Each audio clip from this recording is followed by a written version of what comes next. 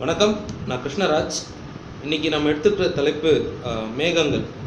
மேகம் அப்படின்ன உடனே நமக்கு ஞாபகம் வர்றது இந்த அதனுடைய ஷேப்பும் அதனுடைய சைஸஸும் அதனுடைய அஃப்கோர்ஸ் நிறமும் தான். ஸோ இது ஒரு ஜாகிரஃபி மட்டுமே சம்மந்தப்பட்ட ஒரு விஷயமான்னு கேட்டால் இல்லை அப்படின்னு சொல்லலாம். மேகம் எப்படி உருவாகுதுங்கிறது எல்லாருக்கும் தெரியும். மேகத்தினுடைய பர்பஸ் என்ன அப்படிங்கிறது எல்லாருக்கும் தெரியும். பட் நம்மள பல பேருக்கு அதிகம் தெரியாத நான் கொஞ்சம் தெரிஞ்சுக்கிட்ட விஷயங்களை இங்கே நான் ஷேர் பண்ணுறேன் பாருங்கள் ஸோ மேகம் அப்படின்னாலே நம்ம பொதுவாக அது காற்றோட ஓட்டத்தில் பூமியினுடைய வெப்பத்தை பூமியினுடைய நீரினுடைய வெப்பமயமாதல் இதெல்லாம் வச்சு மேகம் உருவாகுது அப்படிங்கிறது நம்ம பொத்தாம் பொதுவாக நமக்கு தெரிஞ்ச விஷயம். இதை தாண்டி மேகத்தில் நமக்கு என்ன தெரியும் அப்படின்னு பார்த்தீங்கன்னா மேகங்களை மூணு வகையாக நம்ம ரஃபாக கிளாஸிஃபை பண்ணலாம். Low level middle level and high altitude level அப்படின்னு சொல்லலாம். ஸோ பூமியினுடைய நிலப்பரப்புலேருந்து ஆறாயிரத்தி ஐநூறு அடிக்குள்ளே இருக்கக்கூடிய மேகங்கள் ஒரு வகை. ஆறாயிரத்தி ஐநூறுலேருந்து இருபதாயிரம் அடி வரைக்கும் இருக்கக்கூடிய மேகங்கள் ஒரு வகை. அதுக்கும் மேற்பட்டு இருபதாயிரத்துக்கு அடிக்கும் மேற்பட்டு இருக்கக்கூடிய மேகங்கள் ஒரு வகை. இதில் நிறைய நீங்கள் இதில் கூகுள் பண்ணி பார்த்தீங்கன்னா நிறைய பேர்களுடைய நிறைய வகைகளான மேகங்கள் இருக்குது நம்ம அதுக்குள்ளே போக விரும்பலை.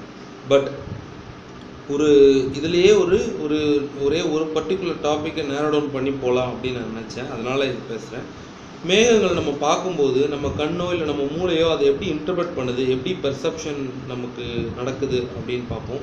ஸோ பல பேர் பல இடங்களில் சொல்ல கேட்டு காமிச்சு நம்ம பார்த்து நாமளே கூட ஃபீல் பண்ணியிருப்போம். சடனாக மேகங்களுடைய ஷேப் இன்ஸ்டண்ட்டாக மாறிக்கிட்டே இருக்கும். இதுக்கு காரணம் பூமியை சுற்றி இருக்கக்கூடிய புவி அட்மாஸ்பியர் அப்படிங்கிறது நமக்கு தெரியும். ஸோ இதனுடைய மெடிக்கல் ஒரு சயின்டிஃபிக் ரீசன் அப்படிங்கிறது இப்போ நம்ம சொன்னது. இதுக்கு பின்ன நம்ம மைண்டு நம்ம மூளை மனித மூளை இல்லை மனித மூளையினுடைய எக்ஸ்டென்ஷனாக இருக்கக்கூடிய இந்த ரெண்டு கண்கள் அதனுடைய சேகரிப்பில் இருக்கக்கூடிய இல்லை அதனுடைய நினைவுகளில் இருக்கக்கூடிய சில இமேஜஸோட இந்த மேகத்தோடைய ஷேப்ஸை ரிலேட் பண்ணிக்கிறதுனால அங்கங்கே சில இடங்களில் மேகத்தில் ஜீசஸ்னுடைய ஷேப் தெரிஞ்சதுன்னோ இல்லை ஒரு கோவிலினுடைய ஷேப் தெரிஞ்சதுன்னோ இல்லை ஏதாவது ஒரு பர்டிகுலர் ஜீசஸ் நான் சொன்னது ஒரு உதாரணத்துக்கு ஏதாவது ஒரு பர்டிகுலர் மதத்தை சார்ந்த ஒரு இமேஜை நீங்கள் வந்து கோரிலேட் பண்ணி உங்களுக்கு தோணலாம். இல்லை ஒரு முயல் ஷேப்பில் தெரியலாம். இது வந்து மேகத்துக்குன்னு மட்டும் கிடையாது. இந்த ஃபினாமினலுக்கு பேர் வந்து பேரிடோலியா அப்படின்னு சொல்லுவாங்க. என்னடா புது புது மெடிக்கல் வார்த்தையெல்லாம் இங்கே சொல்கிறேன் அப்படின்னு கோவிச்சுக்காதீங்க. பிஏஆர்இஐ டிஓஎல்ஐஏ பேரிடோலியா. இந்த மேகத்தை பற்றி நம்ம பேசுனதே இந்த ஃபேக்டரை இந்த ஃபினாமினனை எக்ஸ்பிளைன் பண்ணதுக்கு தான்.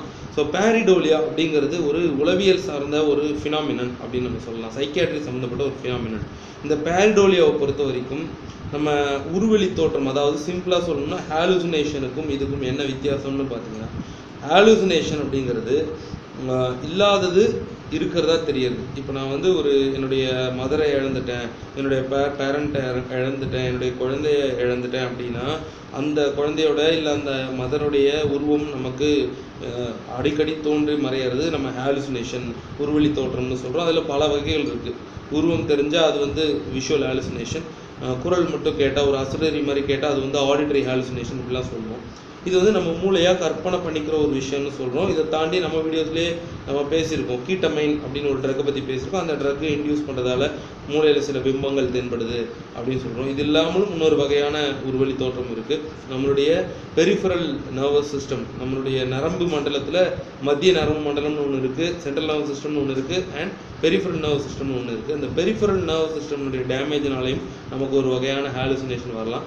இது சூடோ ஹாலுசினேஷன் சரிடா இப்போ இதை ஏன் இந்த டாப்பிக்கோட ரிலேட் பண்ணுறேன்னு கேட்டால் நம்ம மூளை நம்மளை சுற்றி இருக்கக்கூடிய பிரபஞ்சத்தை இல்லை நம்மளை சுற்றி இருக்கக்கூடிய இந்த சுற்றுச்சூழலை பார்க்குற விதம்னு ஒன்று இருக்குது பார்த்தீங்களா இப்போ எனக்கு ஒரு கலர் ரெட்டாக தெரியறதுனால இன்னொருத்தருக்கும் அது ரெட்டாக தெரியறதுனால நாங்கள் ரெண்டு பேரும் சேர்ந்து அது ரெட்டுன்னு முடிவு பண்ணுறோம் அதுவே வேற ஒரு உயிரினமோ வேற ஒரு விலங்கினமோ இல்லை வேற ஒரு என்டைட்டிக்கோ அது வந்து வேற ஒரு கலரில் தெரிஞ்சதுன்னா அது அதனுடைய பெர்செப்ஷன் பெர்செப்ஷன் அப்படிங்கிறது இங்கே வந்து ஃபிசிக்ஸ் சம்மந்தப்பட்டதுங்கிறத தாண்டி உளவியல் சம்மந்தப்பட்டது சைக்காட்ரி சம்மந்தப்பட்டது நான் சொல்ல வர்றது புரியல ரொம்ப காம்ப்ளெக்ஸாக இருக்குன்னா ஸோ சிம்பிள் மேகங்களில் நாம் பார்க்குற உருவங்கள் இல்லை நாம் பார்க்குற இல்லை நமக்கு தென்படுற நம்ம மனசுக்கு தோன்ற உருவங்கள் ஆக்சுவலாக அப்படி இருக்கிறது கிடையாது.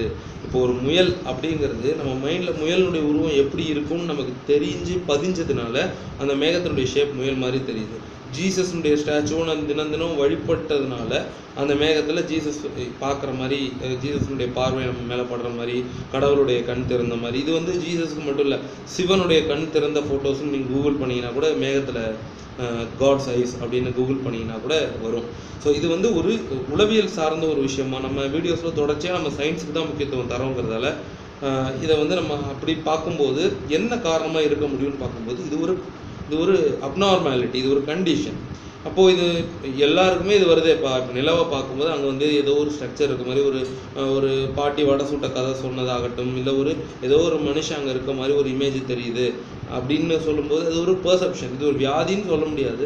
இதுவே அளவுக்கு அதிகமாக போகும்போது அது ஒரு உளவியல் சார்ந்த சைக்கலாஜிக்கல் ப்ராப்ளமாக சைக்கியாட்ரிக் இஷ்யூவாக நம்ம கொண்டு போகலாம். பட் இது எல்லாருக்குமே குவைட் நார்மலாக தெரியக்கூடிய ஒரு ஒரு ஃபினாமினன் இந்த பேர பேரடிலியாவை பொறுத்த வரைக்கும் இந்த பேரடிலியா பொறுத்த வரைக்கும் இந்த வார்த்தை காம்ப்ளெக்ஸாக இருந்தாலும் இதை புரிஞ்சுக்கிறது ரொம்ப சிம்பிள் நம்மளுடைய அடி ஆழ் மனதில் நம்ம புரிஞ்சு வச்சுருக்க தெரிஞ்சு வச்சுருக்க known objects known smell known sounds இது எல்லாமே நம்ம வேற ஏதாவது ஒரு விஷயத்த பார்க்கும்போது அதுவும் இதுவும் ஒண்ணுதானோன்னு நமக்கு மைண்டில் ஒரு கன்ஃபியூஷன் கூட சொல்ல முடியாது. ஒரு தீர்மானத்துக்கு நம்ம மூளை வந்துடுது அதுதான் இந்த பேரிடாபியா ஸோ இதே தான் க்ளவுடினுடைய பேட்டர்னை பற்றி நம்ம சொல்ல ஆரம்பித்தோம் ஸோ க்ளவுடினுடைய பேட்டர்ன் மாறுறதுக்கும் க்ளவுடினுடைய பேட்டர்ன் ஷேப் மாறுறதுக்கும் சயின்டிஃபிக் ரீசன் நேச்சுரல் ரீசன் நம்ம எல்லாருக்கும் தெரியும். நம்ம மனதளவில் உளவியல் சார்ந்த ரீசன் தான் நான் இங்கே ஷேர் பண்ணிக்கிட்டேன். இந்த வீடியோ கொஞ்சம் காம்ப்ளெக்ஸான கஷ்டமான வீடியோவாக பட்டிருந்தா I'm so sorry similar different unique வெவ்வேறு ஜானர்ஸில் திங்க் பண்ணக்கூடிய thought providing videos thought provoking videos வேணும்னா கிருஷ்ணராஜ் இன்ஃபர்மேட்டிவ்னு கூகுள் பண்ணுங்கள் thanks for your subscription so for kindly supporters thank you